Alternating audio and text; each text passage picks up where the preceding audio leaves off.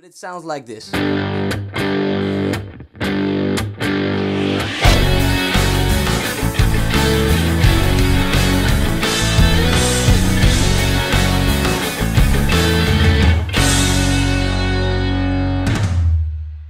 Hi guys, Yuri here again. Welcome to YB Plays Music. Today I'm gonna show you the karate chop and plant technique for muting your guitar. I already showed you a couple of techniques when it comes to muting your guitar the last couple of weeks. Today I'm gonna show you the karate chop and the plant technique for muting your guitar. They're pretty similar, but the karate chop is more used for chords and on electric guitar when you're using a plectrum. The plant technique is more when you play fingerstyle. So what is a karate chop? Like the name says it itself, with a karate chop you use the side of your hand to hit the strings right here. And it's used with your right hand. So we're gonna chop our right hand right here on the strings. And that is actually to stop the sound and then to play it right again.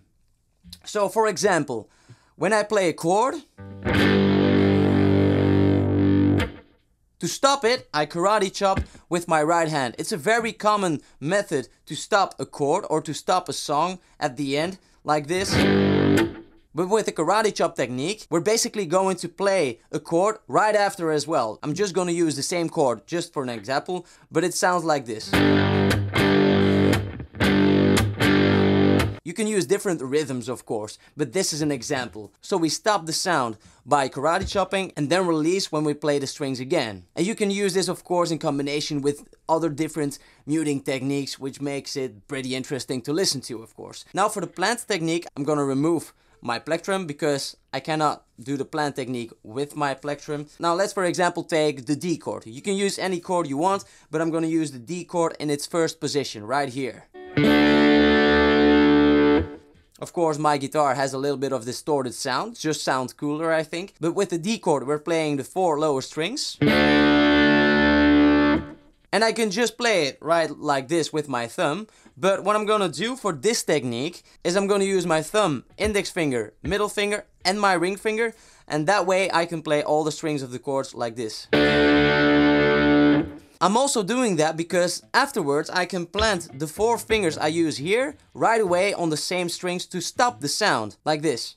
And the sound stops. The same like with the karate chop, I can play the notes just right after again, like this.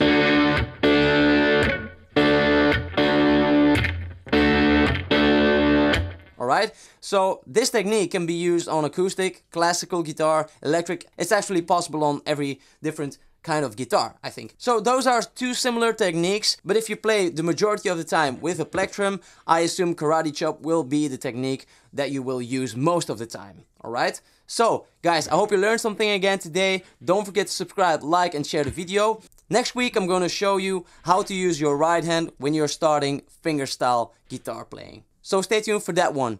Also don't forget I have other tutorials, I have reaction videos and music videos for you guys to check out. So thank you very much and see you guys next time. Bye.